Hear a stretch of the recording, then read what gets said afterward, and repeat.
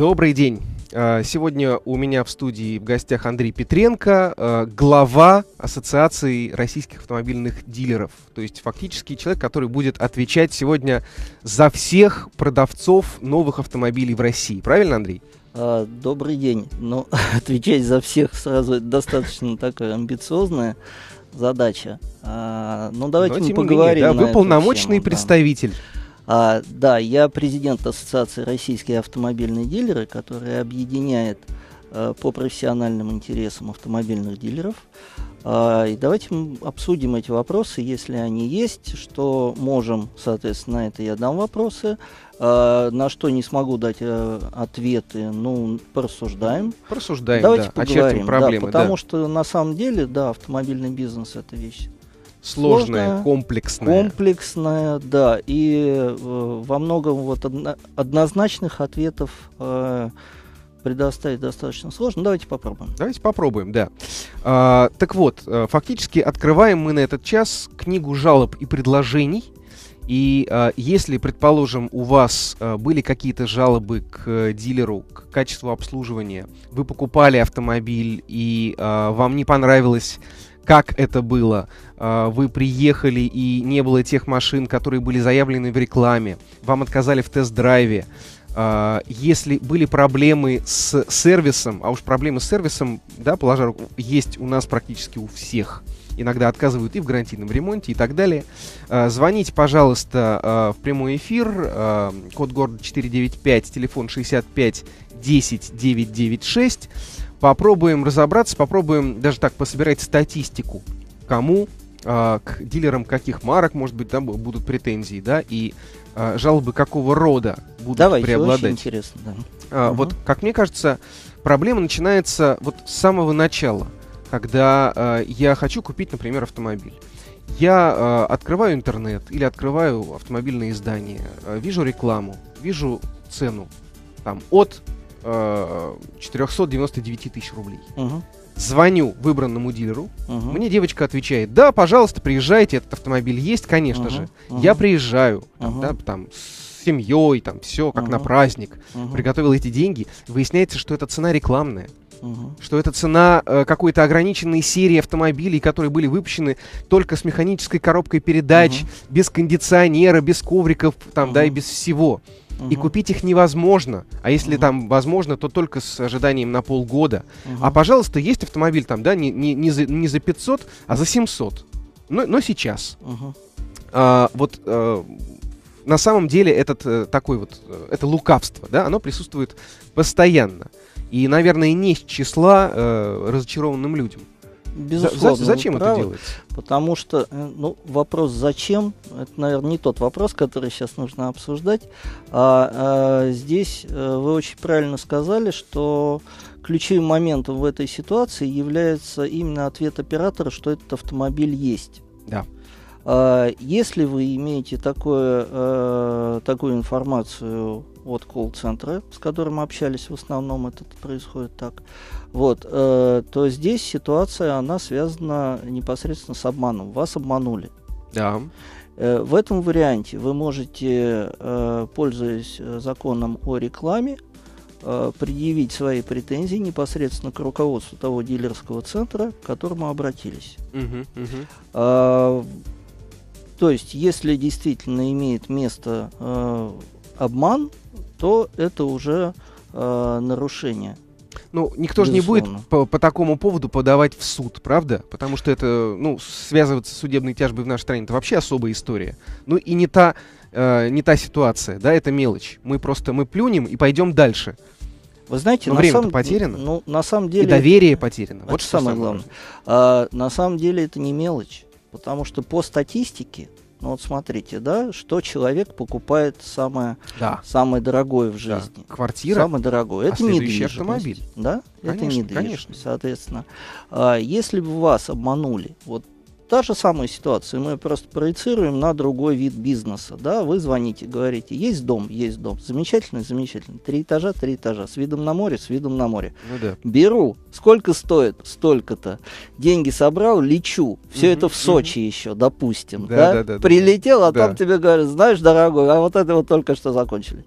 Вот, э, та же самая ситуация, но в этом варианте вы э, имеете моральное право взять и э, обратиться к тому человеку, который вас фактически обманул. Почему вы не делаете то же самое, когда э, когда э, покупаете автомобиль. Это вторая по ценности, второй по ценности приобретения за вашу жизнь. Это правда, да.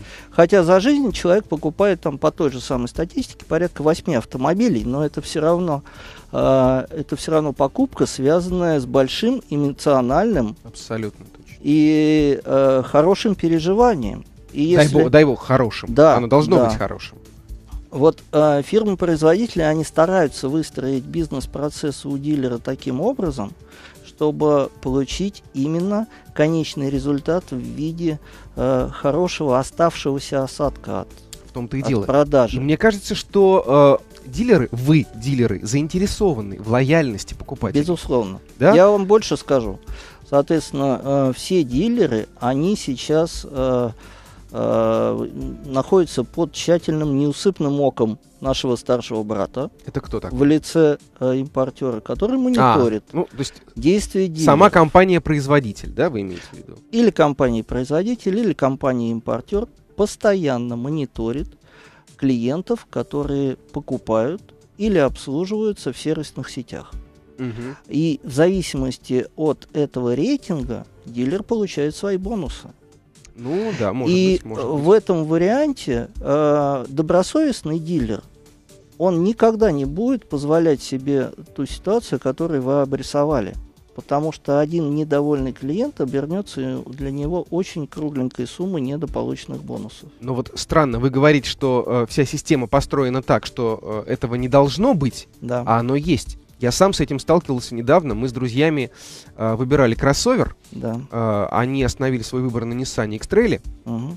Э, мы стали звонить. Э, да, я сказал, что, ребят, давайте вот прокатимся на э, дизельной машине, угу. потому что, ну, вы ездите на дальние расстояния, ну, вам да, дизель... Это, это хороший вариант. Вполне, да. да. Вот, э, мы начали звонить, мы столкнулись с тем, что, во-первых, нигде нет дизеля на тест-драйве. Угу. И во-вторых, даже там, где нам девочка сказала, да, все, приезжайте, они приехали туда, угу. а там на самом деле дизельной машины на, тест-драйве нет. Они потратили время, угу. деньги, да, угу. фактически полдня просто убито псу под хвост. Это было. Но вот совсем недавно, да, это, этим летом. Э, вы сказали про колл-центр вот, да. вот это интересная, кстати, тема. Я-то думал, что когда я набираю телефон, указанный угу. в рекламе, я попадаю прямо к дилеру. Нет. А это не так. Это да? не так, да, потому что э, вы общаетесь в основном э, с операторами колл-центра, которые действуют по инструкции. Э, в больших городах, таких как Москва, Санкт-Петербург, э, все давно уже используют колл-центры, которые находятся на аутсорсинге. Ага. И если вот вы звоните э, откуда, дилеру... Так откуда же эта девочка э, в колл-центре, а, которая вообще не знает, что такое автомобиль? Они работают по инструкции. Понимаете, на самом деле вот система колл-центров это, это не только свойство, там, скажем, работы по автомобильному направлению, это большие сетевые компании, точно так же используют колл-центры. Вы можете, дилер может Я находиться понимаю. в Москве, а колл-центр может находиться где-то в Брянске или в Тамбове. Нет, он даже может находиться где-нибудь в Литве там, да, может, или в Латвии, да, да дело даже да, не, не в этом. Да. Но одно дело, когда э, я звоню, чтобы купить э, мясорубку, и совсем другое дело автомобиль. Мы говорили с вами. Согласен. Да? Совет очень простой. Нужно непосредственно добиваться от колл-центра того, чтобы соединили непосредственно, непосредственно. с продавцом. Угу. Потому что в этом варианте вы э, еще лучше. Продавец обычно представляется. Э, вы он у вас, я вас уверяю, он сделает все, чтобы узнать, как вас зовут и выяснить ваш мобильный это телефон. Это правда, это правда. Это я так. сталкивался с этим. И да. в этом варианте, э, соответственно, не надо скрывать свои координаты. Знаете, многие звонят, а вы мне скажите что-нибудь, а ну давайте мы с вами пообщаемся. Нет, вы мне скажите, а еще и вашего старшего скажите, а еще и до чего мы здесь договоримся. Сразу э, элемент э, напряженности, который создается, он людей тоже как, он уже не расслабляет, а э, ну, да, вызывает ну, какие-то да. какие непонятные действия. Поэтому очень просто, не старайтесь скрывать своего намерения купить автомобиль.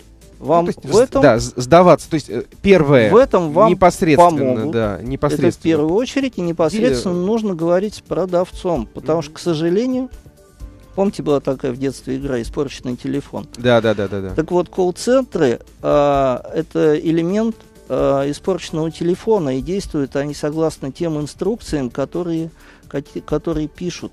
Понятно, понятно. А структура дилерства, она очень сложная, ну и, наверное, не у всех она доведена до совершенства. Андрей Петренко, президент Российской, э, Ассоциации российских автомобильных дилеров у нас в эфире. И продолжим мы э, этот разговор э, после новостей на Финам ФМ. Кни- книга жалоб э, дилера на, на дилеров и предложений им же открыта. Звоните, пожалуйста, в эфир 65 10 996. Андрей Петренко, э, президент э, РААД, попытается на них ответить. Вот э, сейчас э, э мы с Андреем, э, как бы, да, мне кажется, вот такую важную штуку сформулировали, uh-huh. что когда вы звоните э, перед покупкой новой машины, вы сначала, как правило, попадаете в колл-центр. Да, это так. И все вопросы, то есть э, э, девочки и мальчики в колл-центре работают по инструкции, они не в состоянии в принципе, не надо на них злиться, наверное, там, раздражаться, да? У них своя работа, да. они ее выполняют. Нужно просто попросить их перевести непосредственно на дилера, непосредственно на менеджера, который с вами будет дальше работать. Да. Да, и как только вы услышите там «Здравствуйте», следующий шаг, да? Да. Э, здравствуйте, я такой-то, менеджер такой-то. Да. Да, значит, что вас интересует, кто вы. То есть э, не бояться сдаваться ему, сдаваться там с телефоном, со всеми делами, да, и дальше этот человек уже будет э, заниматься вами гораздо более эффективно, чем... Сказать, Это более правильный путь, чем пытаться там получить там кучу информации, потом ее сравнить э, сделать вид, что я больше знаю, я сам все решаю, э, к сожалению, это путь порочный. Наверное, наверное. А, если вы хотите приобрести автомобиль, то нужно в первую очередь определить, э, где его вам нужно будет обслуживать. Потому что проблема обслуживания, эта проблема, она, наверное, у нас закончится, когда у нас автомобили станут э, сравнимы с одноразовыми пластиковыми стаканчиками. Проехал, процесс, выкинул. Процесс идет в этом направлении, идет, да? Но, да, но вот лет но через сто, наверное, вот, можно вот, будет вот. к этому прийти. Да, да, да. А, пока этого не происходит, э, дилер э, все равно э, будет обслуживать эти автомобили. И надо сказать, что э, клиенты а, они выбирают себе дилера, и, пожалуйста, обратите на это внимание, что это ваш должен быть выбор. Вы же выбираете себе дантиста. Абсолютно. А не выбираете, не берете того Абсолютно. дантиста, где, где дешевле. Выбираете угу, в первую угу. очередь того человека, которому вы доверяете, потому что это ваши зубы. Одно неверное движение и вы останетесь со щербатой улыбкой. Оно вам уже не очень, наверное, надо. Да, автомобиль это член семьи фактически. Фактически, да? И то же да. самое. Вы заботитесь о его э, здоровье и о собственном и, так сказать, и, и душевном спокойствии. Да. И, и о том, чтобы вы всегда были на колесах. Давайте послушаем. Э, Дмитрий э, дозвонился до нас. Дмитрий, здравствуйте. Э, здравствуйте. Добрый день. Как у вас жалобы а, или предложения? У меня нет, у меня на самом деле вопрос, вот, э, возможно, проконсультируйте меня и всех слушателей. Вопрос в следующем. Э, ну, уже не на первом автомобиле езжу, и вот сейчас э, менял его, и э, менял на ту же марку, приблизительно того же класса, ну, скажем, Passat. Вот, uh-huh. и э, пришел к, се, э, в, к дилеру и говорю, господа, вот я хочу поменять автомобиль, э, можете ли его выкупить? У меня, uh-huh. соответственно, ну, в зачет следующего автомобиля, не в зачет следующего автомобиля. Uh-huh. Вот, а общались мы по этому поводу с дилером, ну, скажем так, ну, мы не нашли общего языка. Потому что они вот. предлагали вам слишком низкую цену. Да, а, потому что первый дилер, первый дилер, у которого была та машина, которую я хочу, ну, ЦЦХ у него была, вот, а, он мне пред... он а, настолько скривил лицо, проведя тест моего автомобиля, скривил лицо, говорит, ну вы понимаете, там такая вот неполадка есть, нам не очень бы хотелось этот автомобиль покупать. Говорю, ну ладно, без вопросов, пошел к другому. Мгм. Другой мне установил цену, ну, скажем так, вот я автомобиль продал на 70 тысяч дороже че- в- через два дня после, покуп- а, после объявления, когда я разместил. Да. Вот. Мгм. а, И вообще, обязаны ли дилеры выкупать автомобили, и как они устанавливают ценообразование? Есть ли на них, скажем так, а, управов э, из, э, грубо говоря, вышестоящей инстанции? Вот такой вопрос. Дмитрий, спасибо. Да, то есть вопрос про трейдин. Спасибо большое за вопрос. Такой актуальный, больной вопрос, Ну, прямо скажем. Больной да? вопрос. Э, Надо понимать, что э, для дилера система трейдин это система продажи нового автомобиля. Прежде всего, да. Прежде всего. И э, правил э, обязательного выкупа э, автомобиля, э, вы знаете, в истории были такие прецеденты, когда вы покупаете автомобиль. По-моему, это была программа Audi. Мгм. Была она лет шесть назад В России или... в России. Ага. И называлась она программа с обязательным выкупом. Buyback, да? Buyback. Это довольно распространенная система на Западе, но в основном она касается юридических лиц. А, Очень это- близко к лизингу, фактически. Очень близко, да. Э, В этом варианте, я думаю, что если вы э, при первичной покупке автомобиля сразу э, оговорите условия байбек, сразу могу сказать, что они не получили очень широкого распространения по разным причинам. Мгм, В первую мгм. очередь из-за того, что достаточно сложно э, оценить цену денег, которые будут там через 2-3 года. и Эти причины не зависят от дилера. Хотя такой формат есть. Ну да. А, то есть такая система существует. Это единственный момент, по которому дилера можно каким-то образом обязать выкупить этот автомобиль. Что А- касается вот меня как частного лица, то, конечно же, никаких обязательств передо мной э, по трейдину дилер, А, наверное, не несет. У нас да? э, свободная страна. И все это знают. Соответственно, вы можете э, продавать ваш автомобиль где угодно и кому угодно, за какие угодно деньги.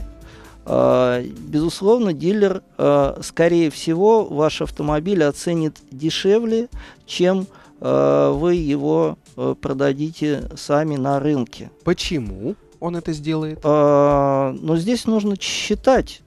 Многие идут, и большинство... Все зависит от клиента.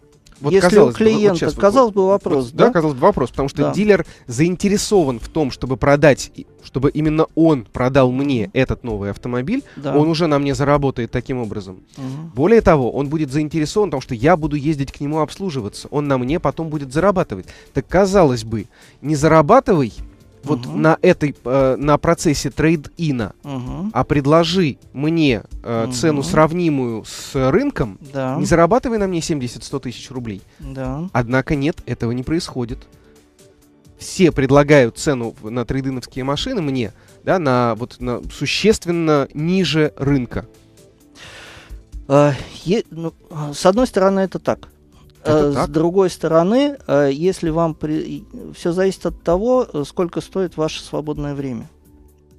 Если, допустим, цена, предлагаемая вами, то есть э, цена, предлагаемая дилером, ниже, там, скажем, на 30 тысяч рублей Мгм, где-то, да, а, и э, вы понимаете, что нет, я не готов, э, я буду продавать это сам. Посчитайте, пожалуйста, то время, которое вы затратите э, на то, чтобы этот автомобиль, Это правда. это автомобиль правда. продать.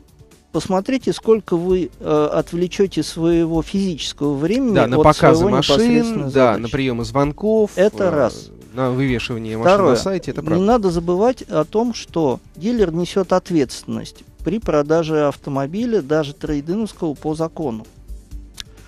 Там есть гарантийный срок, Мгм, в течение мгм. которого, э, если у вас происходят какие-то поломки или недостачи, дилер обязан его либо починить, либо вернуть назад.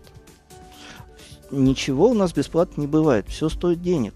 Соответственно, если дилер несет э, обязательства, он должен быть уверен в том, что этот автомобиль его не подведет. Ну да.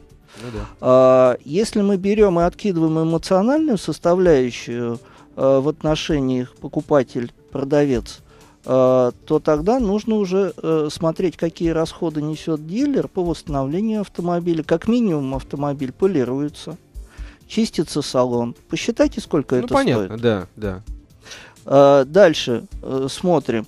Э, замена аккумулятора по необходимости. Вот если вы возьмете Ну, чистый все равно, лист, ну, вы- вот знаете, вот, вот, ну, ну, ну, полировка там, все, тем более это все, вы дилер, у вас все эти службы есть. но они все там. стоят денег. Они все стоят Вы денег. поймите, это же Но не 100 бесплатно не тысяч рублей они стоят, понимаете? А, по-разному. Понимаете, если у вас э, прожженное сиденье, и для вас это приятное воспоминание, как вы сидели с блондинкой, курили, и у вас пепел упал и прожег сиденье, и для вас это Ну, ничего не значит, понятно, то для да. следующего клиента, который будет осматривать ваш автомобиль, Ну, воспоминания о блондинке, они недоступны. Поэтому, извините, давайте смотреть и считать. Понятно. В любом случае, э, если вас устраивает эта цена, то тогда нужно совершать эту сделку, потому что это быстрее и это экономит понятно, ваше, да. ваше время. Мы платим за, да, за отсутствие. Хорошо, давайте... по- самое ведь, э, смотрите, самое дорогое все, что у нас есть в жизни, это время. Это правда, это правда. Давайте послушаем Максима. Да, пожалуйста. Максим, здравствуйте. Добрый день. А, у меня, Добрый. честно говоря, интерес, интерес праздный, потому что я, несмотря на то, что с дилерами сталкивался, вопросов у меня к ним фу нет. А, Хорошо. ни по ремонту, ни по продаже. Да, Хорошо. Наверное, просто машин не ломать. Спасибо вам, Максим. А, Да, да. Алло. Алло. Алло. Ну вот. Ну вот, да. Вот только э, позвонил человек с, чем-то позитивным, да? Наверное, это кто-то. Хорошо, давайте попробуем послушать Вадима. Ну, Может быть, связь будет лучше. Вадим. Вадим, здравствуйте, да. Да, да, да, алло, здравствуйте. Добрый А, день. я хотел бы пожаловаться, в принципе, на дилера официального Мерседеса а Авилон на Ленинградском проспекте. Так. А, Вот, казалось бы, Мерседес, да? Да, да, да, Мерседес, да, у меня Мерседес, да, небольшой такой джипик. Вот. ГЛК, и- да? ГЛК. Да, ГЛК, да, да, да, Мгм. ГЛК. А, вот. И когда я а, менял лобовое стекло по гарантии, Мгм. к сожалению, получив автомобиль, я не обратил внимания, но а, а, видно при замене лобового стекла они перевернули у меня ароматизатор воздуха амбипюр, Мгм. такой жидкостный. Да, И он да, да. пролился на... Да, он на пластике, на пластике остались Да, белые да, он потеки. чуть сбучился, потом я Мгм. увидел. Сколько не писал писем, сколько ничего как бы не делал, ответ был однозначен, то, что это недоказуемо. А, За кадром мне предложили заменить, а, к- как оказалось, меняется весь блок навигационный и так далее. То Ого. есть э, на рынке, как я на- узнал, он стоил порядка 40 тысяч на новый, а у них он стоил официалов 180 тысяч, пополам мне предложили в 90 на 90. Что-то как-то То есть, очень э, странная история. Это как вообще, да? Причем здесь... Ну, вот так вот предложили за кадром мне сразу. Причем я только отъехал, я обратил сразу же внимание, что у меня этот жидкостный баллончик перевернут, хотя там есть указатели, как а, его устанавливать. Э, Подъехал к ним, но как бы уже сказали, вы подписали документ, как бы о том, что вы приняли автомобиль. Я, ну, я сказал то, что я не заметил, а тем Мгм. более я проехал минут 10-15, тут же к вам вернулся. Мгм. Ну, вот такой был ответ. Вышел, а, значит, э, ну, и руководитель этой э, станции, и как бы отнеслись так довольно ну, формально, скажем так, сказали, извините, но вот как бы э, сделали свое какое-то некое мини-расследование, отписались мне, но результат был один, то что или вы доплачиваете 90 тысяч, и мы вам меняем его, как бы пополами, как бы, то есть э, мы 90 и вы 90. Хотя, подчеркиваю, на, э, ну, на рынке это э, цена составляет порядка 40 тысяч. И вот такой не очень хороший, как бы, было отношение. Максим, у меня была Ну, та же спасибо. самая ситуация, у меня лично. Да, э, да? с- да. В- то есть там остается от этого ароматизатора просто белый, э, белый налет, который убирается полированием. Нет, нет, а, я как э, у меня осталось, как бы, понимаете, пластик, а он а, был покрыт, это не просто пластик в Мерседесе, а как будто Да. такой, знаете, прорезиненной какой-то небольшой основой. Ну да, мягкий. И вот мягкий. она, Мгм. она вспучилась, как бы, да, то есть пластик сам на самом деле, я смотрел, он как бы белый, Мгм. а на нем как бы нанесено что-то такое, видно, тактильное, э, Да, более да, да. лучше. Да, да, да. вот, вот Микронное мы- покрытие, да. Вот, э, очевидно, вот оно чуть э, спучилось, скажем так. Ну, такая ситуация. Хотя машина как Ну, бы мне нравится, и я даже мгм. планирую купить такую же новую, но, ну, скорее всего, не у этого дилера. Хотя Мгм. он, как бы, я так понял, официальный, самый Да, да, да. большой, что ли, или как Да, бы он да. для всех их возит. Ну, знаете, я что могу сказать вот вам, что э, это уважаемая компания, Абсолютно. Да. Э, все ее прекрасно знают, э, но еще раз возвращаясь к, к обслуживанию, угу. вот каждый должен выбирать именно тех людей, с которыми он будет вести по жизни этого своего питомца на четырех колесах. А, ну, может быть, вам надо попробовать вот работать кому пожаловаться? Вот, вот, вот кому пожаловаться? Да, Вы знаете, ну, во-первых, здесь... А, нужно, нужно действительно жар, жаловаться по к руководству компании. Абсолютно. Вот. Да, а, это сделал. первое. Второе, а, это, ну, это судебный прецедент. Абсолютно, на самом деле. Абсолютно точно. Поймите, вот э, Леонид сказал, что вроде есть вещи, о которых там они мелкие, но в конце концов это наше восприятие нашей жизни, а это далеко не мелочь. Правда, правда. Давайте сейчас э, послушаем новости. Э, спасибо, спасибо за спасибо. интересный случай, да, и потом продолжим это обсуждение. Новости. Э, приветствуем всех еще раз. В студии Андрей Петренко, президент Ассоциации российских автомобильных дилеров. Э, говорим, от, э, пишем в книгу жалоб, жалобы и предложения. Вот, интересные всяческие уже есть случаи. Звоните, пожалуйста, 65 10 996. Э, ну вот, есть такие, да, вот интересно, что бывают совершенно такие нетрадиционные, да, э, нетривиальные случаи жалоб, как вот предыдущие, когда, казалось бы, и э, Мерседес, э, да, и э, дилерство, э, э, совершенно непонятно, э, почему э, это происходит,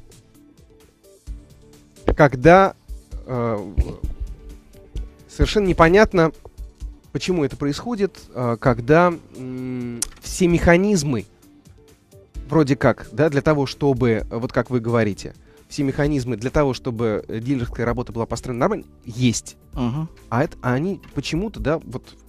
Э, и причем, ладно бы, если проблемы возникали редко. Uh-huh. Они возникают часто.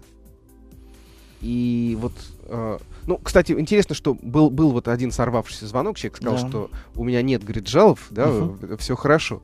Да. Все-таки, конечно же, э, есть, есть э, позитивные случаи, и, слава тебе, Господи, их становится все больше и больше. А, вот э, я э, упоминал вот мою собственную ли, личную, вот этот личный опыт, когда угу. мы искали автомобиль. Э, мы э, в итоге объехали, мы искали Nissan X-Trail, угу. объехали нескольких дилеров, но в итоге мы купили Volkswagen Tiguan. А в Германике. И вот там действительно uh-huh. к нам там от, отнеслись там совершенно прекрасно. Uh-huh. И причем у другого дилера они э, сделали тест-драйв и uh-huh. дизельные, и дизельного Тигуана, и бензинового. Uh-huh. Их, причем э, парень, который делал тест-драйв, он повез их прямо, он говорит, хотите про- проверить проходимость этой yeah. машины? И, э, значит, и э, мне Сергей рассказал, что он не верил своим глазам. Они на тест-драйвской машине куда-то уехали вообще в какой-то там э, по пашне ездили. да, и это было настолько сильным впечатлением и переживанием для него, угу. да, человек впервые ездил по бездорожью, да. Тигуан вывез, да, да и все, он, он купил совершенно сейчас счастливый. Давай, да, ну, давайте послушаем. Хорошая машина, да, хороший да, тест-драйв. Да, да, да. давайте, насколько важен хороший тест-драйв и хорошее отношение к лошадям, да, как по Маяковскому. А, вы знаете, да, тест-драйв это основной момент при продаже автомобиля, конечно, потому что конечно. он формирует эмоциональную окраску всего этого процесса. Абсолютно. Давайте послушаем, э, что Дарья скажет. Э, Дарья, здравствуйте. Алло. Дарья, вы в эфире. Алло. Алло. Алло. Вы не Дарья. Здравствуйте. Да, Но вы в эфире. Шон. Да, ага, Шон. Так, здравствуйте, Шон. Алло, здравствуйте, это Дарья. Это Дарья. Вот как Дарья. интересно, да? Я бы хотела рассказать о конфликтной ситуации, которая у меня произошла с дилером Mercedes Авилон на Волгоградке. Так. А, хочу сказать сразу, что дело дошло до драки с э, менеджером, который поднял на меня руку. Дело в том, что я забирала свою машину два года назад э, с планового ТО и обнаружила на ней вмятину. Так. А, на что мне эксперт заявил, что вмятина, видимо, старая, так как э, ну, это видно по машине. Uh-huh, а uh-huh. в акте осмотра, который делается перед тем, как дается машина, то она не была никак зафиксирована. Uh-huh. А, мне сказали, что я подписала этот акт, в котором было указано, что машина сдана в грязном виде. И поэтому я ничего не смогу доказать, что это такая своеобразная лазейка. А, я позвонила адвокату, и мне сказали, uh-huh. обязательно этот так держать при себе, ни в коем случае не отдавать. О том, что будет проведено расследование, мы сказали, uh-huh. смотреть камеры, на что менеджер бросился на меня, начал это так собирать меня с кулаками. Я кричала просто на весь салон «помогите». Ну, это фантастика просто какая-то, да? были в шоке, причем а, после чего я позвонила в ГАИ, сказала, что я хочу а, зафиксировать ДТП, которое произошло в а, Авилоне. Угу. И салон уже закрывался, потому что разбирались мы несколько часов. В конечном итоге мне сделали бесплатно, выпрямили вмятину. Но, конечно, я больше ни за что в жизни не, не поеду и сказала, что там совершенно отвратительное обслуживание. Ну, прямо удивительно. Прямо удивительно. Ну... Мы хотели даже потом, да, изъять камеры, которые записывают то, что происходит в зале, угу. потому что он набросился на меня, и у нас было очень много свидетелей. После того, как они не исправили машину, конечно, я не стала дальше связываться. Да, Дарья, ну что тут можно сказать? Э, ну, можно посочувствовать. Безобразие, да, да посочувствовать. Да, это, конечно... Можно сказать, добро пожаловать в Россию. Да. Ну, по, э, ну такая ситуация. спасибо, да, спасибо, да, спасибо за, вам за, за, информацию. Такую, самую информацию, да, что называется такой, ну, тревожный звоночек, да? Очень. Второй, да, кстати, да, за да. этот час э, по Мерседесам, да. да? Я могу по статистике сказать, что э, вот вы говорите, количество обращений становится, количество недовольных становится все больше и больше. Э, в процентном отношении оно так и остается, порядка 15-20%. То есть 20% это люди, которые недовольны uh-huh. э, их обслуживанием. Uh-huh. Uh-huh. А, эта статистика, она собирается достаточно давно. Просто если раньше мы продавали какое количество автомобилей? Да, конечно. А конечно, сейчас мы продаем конечно. около трех миллионов. Около трех миллионов, есть, да. Смотрите. И, Рынок вырос. Да. И почему нельзя э, никогда смотреть э, именно там цифры процентных отношениях, потому что про, в процентных пересчетах это всегда э, получается такой вот уход от действительности, от цифр. Это правда. А то, что абсолютное количество людей становится более и более недовольны, их становится все больше, вот, э, ну, надо ну, просто... с этим что-то делать. Да, потому что все-таки да? 15-20% это много. Это много, но это и мировая статистика, э, это связано просто со спецификой. Мы не говорим предыдущий случай, который связан просто с одиозным поведением. Да, с хамством, да. Uh, хамство, одиозное поведение, там, неправильно построенными бизнес-процессами. Мы просто говорим о том, что автомобиль это сложный, uh, сложный uh, аппарат. И для того, чтобы фактически правильно диагностировать его неисправность, тоже надо затратить достаточно большое количество времени. И, положа руку на сердце, э, вот это не всегда происходит с первого раза. Угу, угу. Правда, правда. А, вариант очень э, простой. Смотрите, а, автомобиль сейчас, он по своей сложности, он намного сложнее а, видеомагнитофона. Да ну что вы говорите? На Это... порядок. На порядок? А, но почему-то все считают, что они знают, как устроен автомобиль. Это а вот да, видеомагнитофон не стараются даже туда залезть. Это правда. А, это, наверное, связано с тем, что, ну, как как было сказано, да, все знают, как растить детей, вот, и заодно, как чинить автомобили. Все это знают и умеют. А, Наверное, надо пересмотреть свое сознание, потому что даже самые технически простые автомобили сейчас они требуют профессионального ухода. Это правда. Давно ушли в, в, прошлое те времена, когда мы сами могли там, да, в гараже э, починить все копейки, там, да, да. или даже в восьмерке. Да. Вот сейчас это, конечно, уже э, уже электроники слишком много, и э, автомобили становятся такими, что для их обслуживания нужны специальные приспособления. Это делается, кстати, я думаю, что во многом для того, чтобы э, предотвратить случаи э, самовольного, самовольного да, да, да, в конструкцию, да. конструкцию. Потому Наверное, что, да, потому, потому что, что ну, это безопасность. Это да, это, это сред... автомобиль, надо помнить, что это средство повышенной опасности. Абсолютно точно. Давайте послушаем все-таки Шон, э, угу. да, до нас дозвонился еще раз. Э, Шон, Алло. здравствуйте. Здравствуйте, да. Ваша фамилия не, меня... не Коннери, случайно? А, да нет.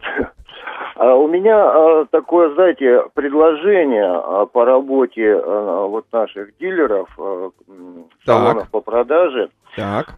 Столкнулся я вот с чем. Ну, я купил уже вторую машину Volkswagen. и довольно-таки доволен работой своего дилера во всем. Хорошо. Кто, а? Кто и, это? Да, Страна это... должна знать своих героев. Это немецкий дом Балашиха. Ага. А, вот. И, в общем, а, всем доволен и рекомендую очень многим. И есть такое, знаете, Предложение, да? Представ, нет, представление полное, допустим, о европейском сервисе, вот даже по продаже машины.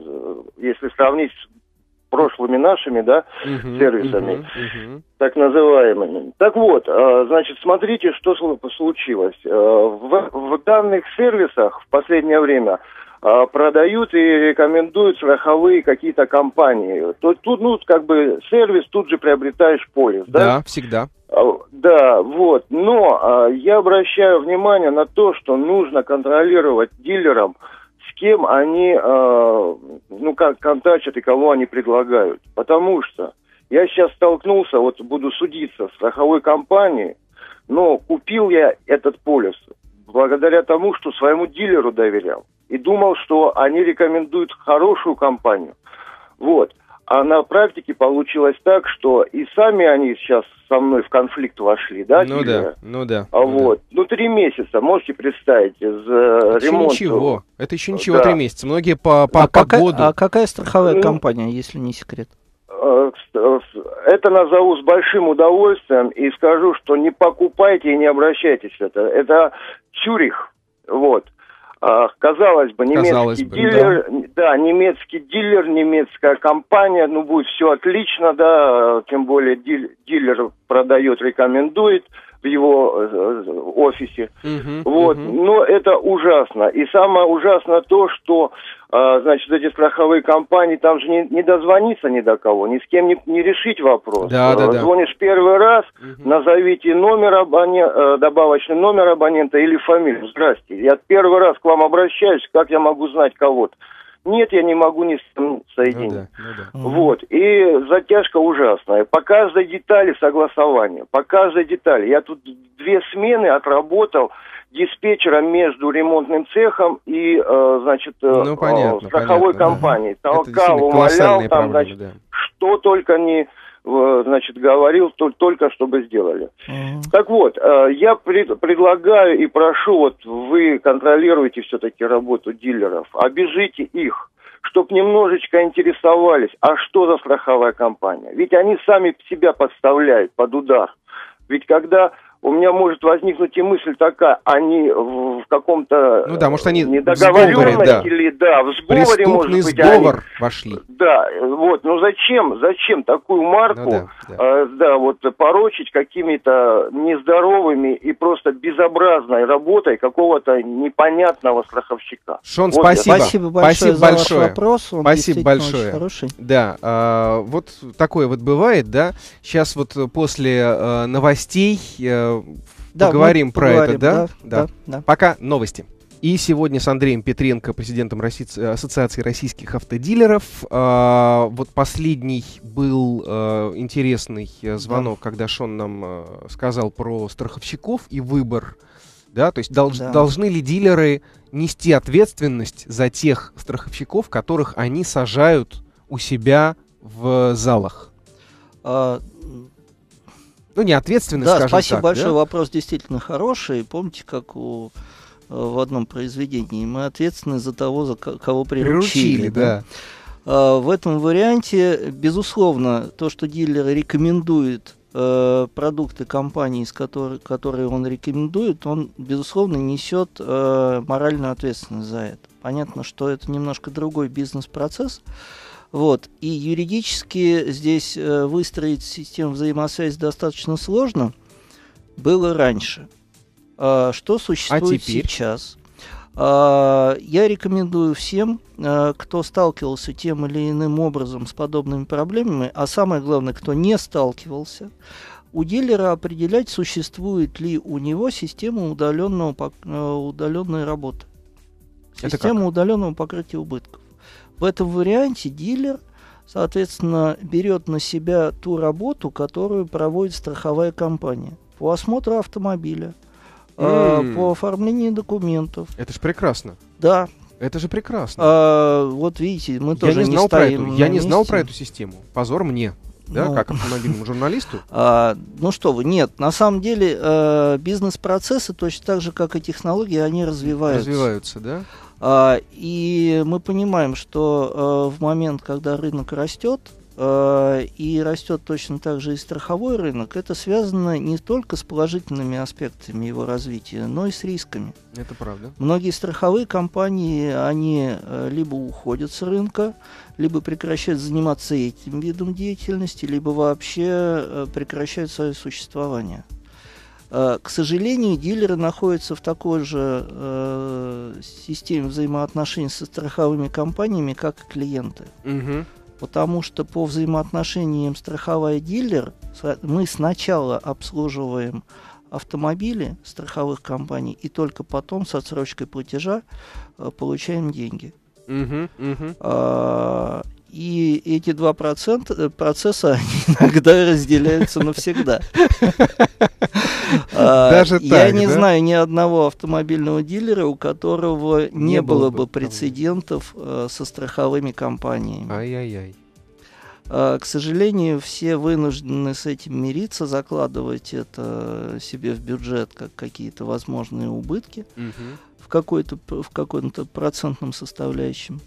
Как... Вот, однако, а вот вернемся а, к удаленному урегулированию убытков. Uh-huh, uh-huh. Этот процесс, который позволяет более тесно работать дилера а, вместе со страховой и делает этот процесс менее мучительным для клиента. И это фактически то, что мы должны предложить. Там, где это работает, там проблем не возникает. Остаются только проблемы дилера и взаимоотношений со страховыми компаниями. А сколько, сколько в процентном соотношении дилеров предлагают удаленные Вы знаете, я не могу вам сейчас сказать статистику. Ну, много, мало а, пока. Я могу это... сказать, что страховые компании этот процесс начали года полтора-два назад. Угу, угу. А, возможно, что он находится в состоянии, знаете, проекты сначала пока, да? пилотные Пилотного. проекты. Ага но они будут развиваться. Давайте запомним э, эти слова. Удаленное урегулирование убытков. убытков. Это хорошо. И давайте послушаем, что скажет нам Николай, который э, дозвонился еще до перерыва на новости. Николай, здрасте. А, да, добрый день. Добрый. Вот, хотел бы рассказать свой опыт покупки Шкода Октавии. Так. Значит, история была такая начал искать в начале лета, вот, плюс там у Шкода была хорошая акция с э, Сбербанком, если взять кредит, там 5% скидка была, вот, значит, э, прихожу к одному дилеру, вот, он говорит, да, скидка есть, но для этого нужно будет установить э, дополнительную сигнализацию или 4 в коробку, чтобы не угнали. Требования банка. Так. Вот я подумал, что, ну, логично, да. В итоге поехал к другому дилеру. Там сделали круглые глаза. Сказать, что такое первый раз слышат. Вот, но, скорее всего, вас пытаетесь произвести на допы, да, что, в принципе, как бы есть обман официального дилера. Ну, ладно. Значит, решили покупать там, где э, открыли глаза. Вот, значит, предложили там э, какие-нибудь э, допы, да, то есть, ну, там, там ну, коврики, брызговики, э, защита картера и коврик багажа. Uh-huh. Вот, насчитали мне это все тысяч на 10, еще плюс установка э, тысяча четыре, вот всего. И уверяю, что э, защита картера это, типа, не, не оригинал, оригинал с бешеных денег, лучше говорить такую. Вот, хорошо, мне достался чек, там были э, номера деталей, я пробил по экзисту, где все это стоило, по-моему, 3,5 тысячи, вот все это вместе, вместо 9. вот. Я где я, собственно, все это и купил. Mm-hmm. Вот. А установил я у другого дилера, тоже официально, но уже в Подмосковье, в городе Ступино, защиту картера только, все остальное поставил руками, за 1600. Mm-hmm. Вот, mm-hmm. то есть, ну, на допах, мне кажется, такой э, традиционный развод, который, ну, честно, не очень приятный осадок потом остается. Это правда. Это правда. Вот, да. Николай, спасибо. Спасибо, спасибо за вопрос. Да, да. спасибо. Вот смотрите, а, то есть, с одной стороны, а, я понимаю, что вот а, а, когда мы покупаем ну, Октавия, все-таки машина не дешевая, да, то есть это там 1600, да. 700. А, и, казалось бы, на этом фоне вот эти вот несколько тысяч рублей, которые, ну, ну казалось бы, там, ну, заплати ты там 10, а не 3, угу. да, и тебе сделает все прямо дилер, и тебе не нужно, да? Но э, с другой стороны, э, не оставляет ощущение у человека, да, когда он узнает, что на самом деле это стоит не 10, а 3, угу. э, не, не остается ощущение, что тебя э, разводят как, как, как кроликов, да, как в том анекдоте. И вот оно, оно, как мне кажется, это ощущение обиды э, и заставляет вот таких людей, как Николай, э, там заним... тратить свое время, которое mm-hmm. тоже там стоит денег, да, э, куда-то там ездить к другому дилеру и ставить это там не, не, там не за 5, а за 3 и так далее. А вы знаете, какое возникает ощущение обыды у дилера, когда он получает запчасти э, от официального дистрибьютора, те же самые, которые продаются на рынке в два с половиной раза дороже. Это правда. Это да. А, и здесь уже обида, помноженная на объем поставок, оно выливается в такую обиду, что э, в результате возникает конфликтная ситуация. А, этот вопрос, который дилеры ставят постоянно. А, но э, у дистрибьюторов есть свои службы закупок, которые имеют свои прайс-листы. Что греха таить, соответственно, те же самые там э, ковры да. или еще кто-то. Мы знаем, кто их производит. Э, их производит один завод э, на территории России. Абсолютно. Вопрос, а, но дистрибьюция... их продавать? Да, да воп- это вопрос правильной дистрибьюции или неправильной дистрибьюции. А, это вопрос ценообразования. Но, к сожалению, мы работаем по тем правилам, по которым мы э, подписали дилерский договор, дилерский контракт. А у вас там четко прописано, там, скажем, что вы вот э, коврики можете продавать сторонние, а, предположим, аккумуляторы нет, да? Или там, вот, вот как это все регулируется, как правило, производителем? А, там, скажем, тормозные колодки только официальные, вы не имеете права предлагать э, там, да, сторонние. Вот, вот сам дилер не может взять там и закупить там у кого-нибудь у Феррадо, например. А, согласен. Э, да? Вопрос ковриков тоже в первую очередь сразу он ставится. Мы говорим, скажите, пожалуйста, но ведь коврики это вещь такая, которая просто это комфортно, да, то есть люди ставят ноги, чтобы они там были в тепло, в, чи, в чистом виде, там, ну, в общем, все знают, зачем коврики. А на что мы получаем ответ? Нет, вы знаете, это, это вопрос безопасности. Потому что если коврик... Кстати, да. И это так. Кстати, да. И если коврик... Вспомним в Штатах историю, да? Когда там люди а... погибли из-за того, что коврик заклинил педаль газа. На самом деле это даже не в Штатах можно вспоминать. У меня у водителя было так, был такой случай. Это правда. А, и это периодически случается. И вроде бы несущественная вещь, коврик, но которая влияет на безопасность. Есть второй момент. А, никто не... Э, очень много на рынке продается алюминиевых дисков легкосплавных. Это вообще Они замечательные, да, они да. красивые, ага. там песня просто. А, но а, я могу сказать, уважаемые а, радиослушатели, кто собирается их приобретать, а, прежде чем приобретать, а, подумайте о своей собственной безопасности, потому что крепление этих а, красивых литых дисков оно не всегда соответствует стандарту производителя. И достаточно, я не могу сказать, что достаточно часто, но бывают случаи, когда э, винты откручиваются и колесо э, и, ну, и правда, колеса правда, отлетают, да. это так. Да, да. К тому же очень часто эти так называемые легкосплавные да. э, диски, они тяжелее это Причем да. намного тяжелее, да. они ухудшают и управляемость, и плавность хода. То угу. есть вы ставите, у вас просто автомобиль сразу становится другим, хуже. И то, Есть о чем, такая проблема и то, колоссальная. О чем, и то, о чем э, никто не говорит, это то, как эти легкосплавные диски, они будут вести себя в момент аварии. Конечно. Либо он они лопнет, не это будет... прочные, это разгерметизация в случае там удара по касательной. Это, это будет правда. один вариант. Вот, э, поэтому вроде бы мелочь. Вроде бы я пойду куплю там что-то и поставлю. Но ну, это да. тот же самый риск. То есть это значит просто, что вы на себя взяли тот риск, и, но вы должны отдавать себе в этом отчет. Это правда. Андрей Петренко, президент Ассоциации российских автомобильных дилеров. А, мы на самом деле только начали как-то, да, только, только разогрелись, начали принимать вопросы и так далее. Я прошу прощения у Максима и у Сергея, которые э, висят сейчас на телефонах, но мы не успеем с вами поговорить. И э, я, наверное, обещаю, что мы еще раз пригласим э, Андрея Петренко в эфир. Придете к нам еще раз, правда? Да, пожалуйста, приглашайте, вот. спасибо. И продолжим этот разговор, потому что он э, волнует всех, вопросов много. Э, нам, э, автолюбителям, с вами, дилерами, жить долго и, надеюсь, счастливо. Надеюсь, нам с вами тоже. Да.